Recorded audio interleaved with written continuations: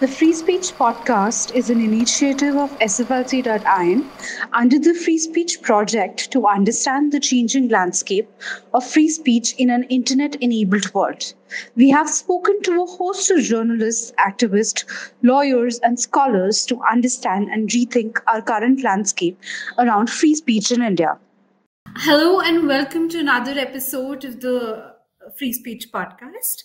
Today, we have a very distinguished guest with us uh, Mr. Paranjoy Guha Thakurta. Paranjoy is a journalist, writer, teacher, and documentary maker. He was the editor of Economic and Political Weekly. He was also part of the uh, 2G scam public interest litigation and a committee formed by the Press Council of India to look into the issue of paid news. Paranjoy has written multiple books like Loose Pages, court uh, court cases that could have shaken India, Sue the Messenger, to name a few. Uh, you should surely go check out his books. Um, they're available on Amazon. Uh, we'll be putting up a link to his books uh, in the in uh, in the link to the podcast. Uh, and he has also he also has a master's degree in economics from the Delhi School of Economics. welcome, Paranjoy. We are very happy to have you here today. Thank you, Radhika. Thank uh, you, uh, so SFLC. Uh, Paranjoy, my first question to you is that you've been involved in journalism for a very long time now, right? Freedom of press and of freedom uh, of expression has uh, faced challenges irrespective of the political, social, and technological context that we're in.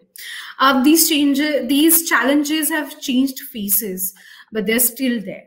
However, uh, these things do um, I mean, the social, political, and technological, uh, you know, space that we're in does affect the nature of challenges which exist and which is the community we face.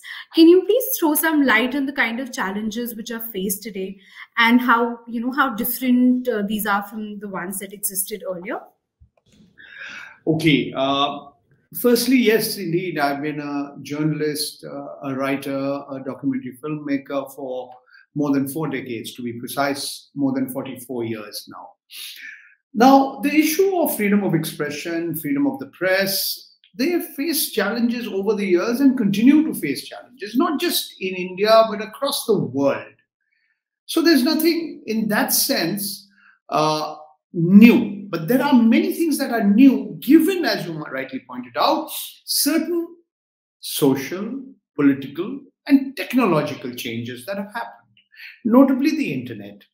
I think uh, the internet and the social media has resulted in the proliferation of information, including a lot of hateful, false, half true information like never before. There was propaganda earlier, there were lies put out earlier, but the sheer scale and the sheer speed at which they this kind of false, fake information, disinformation, misinformation is generated and distributed is new. Now, there are various challenges that have always existed. And again, this is true not just for India, but across the world. Regimes are never, those in power, those in positions of power and authority, they have never been very, very favorably inclined or even tolerant towards critics. These critics could be political leaders who are opposed to the regime, they could be journalists, they could be social activists, they could be anybody. What is new, and I think what is particularly new in India today, is that the ruling regime, which has been in power uh, for seven and more than seven and a half years now. It's going to be eight years soon that Mr. Narendra Modi became the Prime Minister of India in May of 2014. We are seeing a government which is vengeful. It's not just intolerant, it is vengeful. Law enforcing agencies of the state, various institutions have been weaponized to target those who are critical of the regime. These include political opponents, these include journalists. This, in my opinion, is new. And these challenges make India at present different from what it was in the past. And we've seen, perhaps more than ever before, international organization when they drop these indices, the freedom of press index, state of democracy index, we've seen India's position slipping down. We also see, perhaps never before, so many journalists who are behind bars, journalists who've been killed, journalists who've been attacked, journalists who've been kidnapped, journalists who've been physically threatened. Not to mention large numbers of journalists against whom various kinds of action have been taken by the police, by law enforcing agencies. They could include uh, submission of what are called FIRs or first information reports, court cases, cases pertaining to sedition, cases pertaining to defamation. I think never before in the history of India have so many people in the media, journalists, writers, videographers, uh, being targeted in this manner. I think that's what is different today. Right, and uh, you know, uh, with each passing day, it's become it's becoming more terrifying. Uh, at SFLC.in, we started an initiative called the Free Speech Tracker, where we're trying to document all of these instances of you know of uh, of the cases that are going on of you know something as as like book gags. Uh, where uh, where there are bans on publishing of books when there's a lot of art censorship and what we've observed that there are a lot of instances of government cracking down on dissenting voices. Laws like sedition and hate speech are commonly used to do all of these things. Uh, but at the same time, there are actual instances of hate speech or speech which can uh, gravely affect public order, which can call for a, uh, you know, for a mass exodus. And at these places we see a lot of inaction. There isn't there aren't arrests. There aren't political statements. There aren't um, there isn't anything that's been done. How do you think that we need to reimagine these laws in order to uh, ensure that protected speech does not become a victim? Well radhika i don't know how much of it is uh, how many laws we need to reimagine or rewrite or amend I think the issue is how laws are implemented, how laws are enforced, what motivates those in power to use those, law, those laws or even misuse those laws. I mean, take you mentioned the law on sedition. The law on sedition is over a century old. It was enacted when the British were the colonial rulers of India. What space does it have in today's India is an important question. Who is an enemy of the nation? Is anybody who is opposed to a government automatically becomes an enemy of the nation? He's unpatriotic. I mean, the conflation of national pride, the conflation of patriotism with support to those in power is truly amazing and most unfortunate that it is taking place at this scale. Several senior journalists, writers, social activists are all being targeted when these laws are being misused. And you are absolutely right. Those who are actually putting out hateful speech, those who are responsible for spreading disinformation, those who are promoting hatred, communal tension, those whose speeches or writings could promote public lack of public order, public disorder. These individuals, action is often not taken against them. And when action is taken, it is very tardy, very, very slow, after a lot of criticism, after a lot of public pressure. Why? Because these individuals or these organizations who are responsible for putting out that hate speech, very often they are affiliated to those in positions of power and authority. Specifically, the Bharatiya Janata Party government, its ideological parent, the Rashtriya Swayamsevak Sangh, and other organizations which may or may not be part of the RSS or the BJP, but are right wing and promoting a kind of Hindu majoritarian nationalism, which, in my opinion, is really harmful. I think the media has been largely responsible for the spread of Islamophobia in this country in recent years. I do believe that the scare that 80% of the population of India that are supposed to subscribe, that is supposed to subscribe to the Hindu faith, why should they feel threatened by the minorities? There are some simple facts. One out of seven Indians is Muslim. There are more Muslims in India than in all countries of the world except one, and that is Indonesia. So, why should the Hindus of India feel so threatened? And that is because of the ideology, the dominant ideology of the ruling regime at present, as well as those who are supporting this ruling regime. And this is the discourse that is happening, which is, in my opinion, extremely unfortunate and not just unfortunate, it's dangerous for India as a nation state, as a country, to continue with pride in its diversity, in its heterogeneity, in its plurality.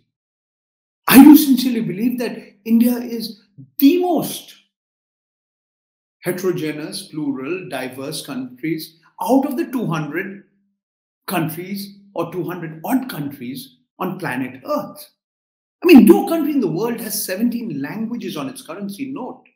21 languages in the eighth schedule of the Constitution of India can be used for official purposes.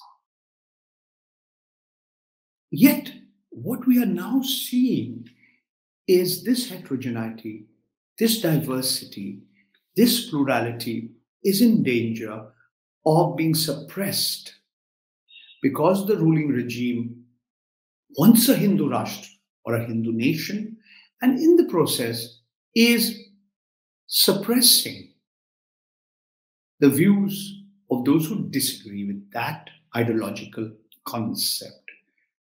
And they are painted as enemies of the nation, they are painted as traitors, they are painted as unpatriotic simply because they do not subscribe to that ideology of essentially right wing Hindu majoritarian, a, a Hindu, right, uh, a right wing Hindu nationalist majoritarian, nationalism within quotes, majoritarian ideology. And I do believe that it's not a question of laws. It's not that the laws don't need reimagining. It's not that those laws uh, should not be amended. But they can be. We need public debate on how to amend these laws, but the implementation of the laws. You know, at the end of the day, section uh, Article 19.1a of the Constitution of India says freedom of expression is a fundamental right of every citizen. Journalists, media personnel, others derive their rights to free expression from Article 19.1a the problem is not so much Article 19.1a, but the interpretation of Article 19.2, which is the reasonable restrictions on the right to free speech. And that's where the problems arise. Who decides what is reasonable, what is not reasonable? Is it a mob? Is it your neighbor who doesn't like your face? Is it a mafia don? Is it a goon? Is it the constable in your locality? Or is it the Inspector General of Police, the senior most police officer? Is it a lower court, a magistrate in a lower court? Or is it the Chief Justice of India? These are big issues, and in my opinion, these issues need to be discussed and debated. Why should India be one of the few countries in the world where defamation is not just a civil offense, it's a criminal offense? And in my opinion, that is also one law that needs amend- amendment. I mean, I think defamation needs to be decriminalized, among other things. And i think the i mean to do all of this i think we you know we started having these conversations as well as uh, maintaining data on the tracker. Uh, Paranjoy, i would like to ask you next. You know you've been a victim of the pegasus um, the nso spyware right? Uh, how do you think like since you found out how do you think it has uh, impacted your ability to talk freely, to have confidential uh, conversations, you know, just to feel, uh, just to feel like yourself. Do you think it has had an impact on um, on all of these things? Of course, it has had. It's had a chilling effect. I was among the few persons in India who agreed to have my phone forensically examined. It was done in Toronto by Citizens Lab. It was Amnesty International, which worked in collaboration with a Paris based international non government organization called Forbidden Stories. This was the whole um, episode, the so called Pegasus episode. And they found my phone had been compromised they found that my phone had in, indeed been infected in, with spyware. Even though it was done three years earlier, and that's what they have. They say they have evidence of, and that's what their report says. And this is pertaining to the months of March, April, and May 2018. But what the Pegasus report has shown, uh, it's been widely misused. Even the government of the U, uh, Israel, where the NSO group is based and situated. Even the government of Israel is concerned. There have been media reports saying Israeli citizens who were critical of or opposed to the Benjamin Netanyahu regime were targeted by Pegasus. This spyware has been used against heads of government, heads of state across the world, and their associates, and their people known to them from South Africa to Morocco to Hungary to Mexico to, to, to Pakistan and, of course, India. My problem is the government of India is, as of now, refusing to say whether or not an agency, a government body, has purchased the software or not. They're saying this is uh, going to compromise our national security. Just the fact that they purchased the software or not, how it will compromise India's security is something I can't understand. I can't fathom. This issue has been debated. I was one of the petitioners in the Supreme Court. The Supreme Court has appointed a technical committee which is examining the this whole episode, whether government a government agency purchased the software, if at all, uh, due processes were followed in putting spyware or snooping on or compromising the phones of individuals? What what was the motivation? Okay if my phone was tapped why? Or was it because it, had uh, because they think i was doing something which is against the interests of the uh, interests or the security interests or the national security interests of india? Was it that they suspected it let them say so. They haven't said there's a second commission of inquiry whose, whose uh, work is not going on right now that was appointed by the government of West Bengal, uh, headed by Justice uh, Madan, retired Justice Madan Lokur and uh, former acting Chief Justice of the High Court in Calcutta, uh, Justice Jyotirmoy Bhattacharya. Uh, right now, there's a stay on the working of that commission by the Supreme Court. So we don't really know uh, how things are going to progress in the coming uh, months, in the coming years. But what is very clear to me those who are in power, if they think they can snoop on individual citizens, then that's not just dangerous for free speech, freedom of expression, but democracy itself. Countries like the United States have put the NSO group on its on a blacklist. The NSO group claims it's innocent, that it's used only to track uh, criminals, heinous crimes, that it sells that software only to government agencies for, uh, you know, checking heinous crimes, uh, terror, potential terrorists, etc., etc., etc. But I think that spyware has been used, misused by those who purchased it, who bought it. And I think this has very, very, very, very major consequences for freedom of expression, democracy, and individual privacy. And uh, if I may just make a few observations on privacy, um, Radhika, you know, we are yet to have in this country a law on personal data protection.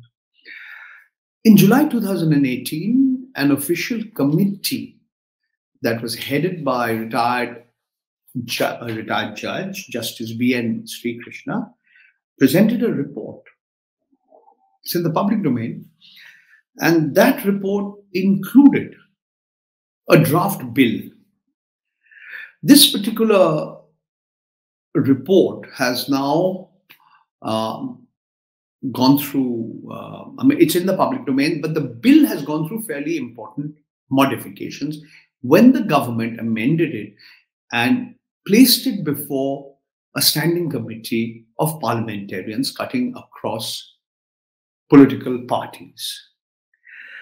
The most important change, if you look at the bill the way it was written in as part of the Justice B. N. Sri Krishna report, and what has been circulated to members of parliament is the words, the change in certain words and phrases.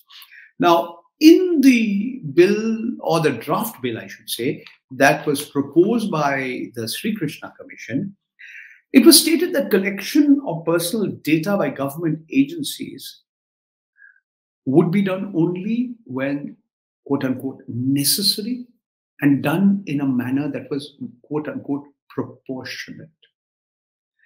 These words have been changed in the version of the bill that is currently in circulation, which has been made by the government, where this word necessary and proportionate has been replaced by a word expedient. That is clearly showing that the government is not going along with what Justice Sri Krishna said about the need to justify when a government agency collects personal data. It has to justify, it has to say why it's doing so. Justice Sri Krishna himself uh, described this change uh, in, in the phraseology, in the wording, as Orwellian, Orwellian, uh, reminiscent of the well known novel written by George Orwell called 1984. It was uh, published in June 1949. It was a dystopian sort of a science fiction novel where Big Brother was always watching you. I think that's today become reality, especially with Pegasus. And we are living through very, very, very challenging and difficult times. This is happening across the world. Certainly, it's happening in India.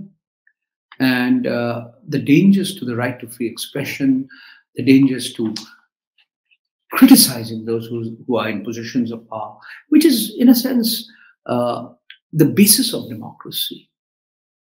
The growth in intolerance has been accompanied, as I mentioned earlier, with vengeful action on the part of the authorities of this country and this is terrible for the future, terrible for the future of democracy and free speech in this country, as well as individual privacy. Right. Um, so my last question to you, and uh, this is a question that we ask all of our uh, guests on the podcast, is: Do you think that uh, free speech rights in an internet-enabled era need to be absolute, like the First Amendment, or do we do we still need reasonable restrictions? They don't have to be the ones that are envisioned in our constitution, but you know, in general, do you think that we do need uh, reasonable restrictions to free speech? Yes, I think we do. But not what Article 19.2 specifies about national sovereignty, friendly relations with nations. Yes, this issue of public order, public disorder is very, very important. Uh, I think no right is absolute. I don't have the right to lie, to cheat, to abuse, to hate a person just because he or she belongs to a different religion, he or she disagrees with me. No, I don't have that right. But what is today happening is that the anonymity that the internet provides, that social media platforms provide, uh, has emboldened uh, sections of the population to abuse, to hate, and create an atmosphere not just of a surveillance state, but a surveillance state which looks the other way.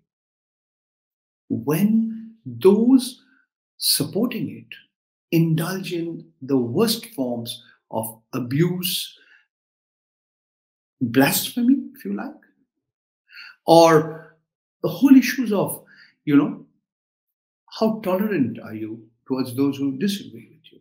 So these are not simple issues. These are complex issues. And each of these topics, what is blasphemy? What is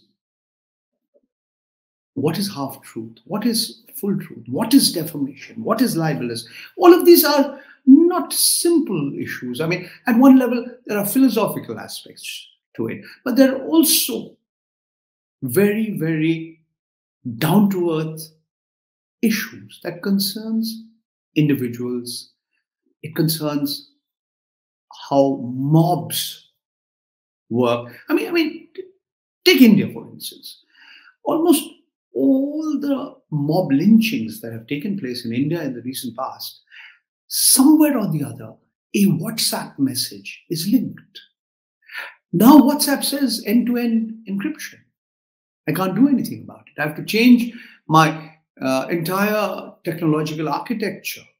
And this is all in the name of privacy, all in the name of freedom of expression. But in India, we have concrete examples of people getting killed and those gruesome videos being put up on WhatsApp and distributed.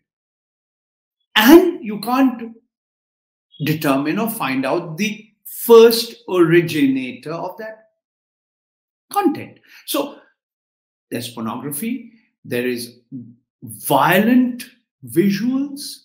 There is visuals which are not just violence, but uh, they show uh, illegalities like murder, like rape. All of it is now being disseminated on the social media. The community standards of social media platforms like WhatsApp, like Twitter, like Facebook are, are certainly inadequate. And more importantly, they depend too much on machines and artificial intelligence, uh, the human intervention that is required to prevent this kind of uh, this kind of misuse of these digital platforms is, in my opinion, grossly inadequate. And much needs to be done because these digital platforms, they are monopolies. They they they don't give a damn about what the content is so long as it goes viral the entire business model is predicated on the virality of the content and not whether that content is true or false hateful or not. This is an issue that concerns the whole world and certainly the citizens of this country. And i think uh, there needs to be controls and much needs to be done how when what are detailed questions, sometimes very difficult questions. But to return to the question you raised, I don't think any freedom, including the freedom of expression, is an absolute right. There has to be restrictions. But what kind of restrictions? What is reasonable? Who enforces these restrictions? What are the mechanisms? These are uh, complex issues. They need to be decide, uh, de- debated. They need to be discussed. But I'm not a kind of a free speech libertarian, and I don't believe it's an absolute freedom. But at the same time, I do believe that the same digital platforms, the same people who swear in the name of individual privacy and freedom of expression are often those who only pay lip service to these freedoms, these concepts, these fundamental rights, and do not do enough to check abuse, misuse of their platforms. Thank you. This has been a very interesting conversation. I'm sure we have a lot more to learn from you. And I encourage all of our readers to go uh, check out Paranjoy's books. There is. Uh, to my website, paranjoy.in. And, and you know, um, uh, and please feel free to contribute uh, if you wish to to the work that I do. I don't want your money for my children's education or to buy a car or a home. But if you think the work that people like me are doing, feel free. I'll, I'll be grateful for your contribution, big or small. We're very, very grateful to you, Paranjoy, for taking out the time and, you know, um, talking to us about these these very relevant issues. Uh, we hope to you know host you soon again for another event at another time. But thank you so much, and I highly uh, encourage all of our viewers to check out Paranjoy's work and support him in any manner that you can. Thank you so much.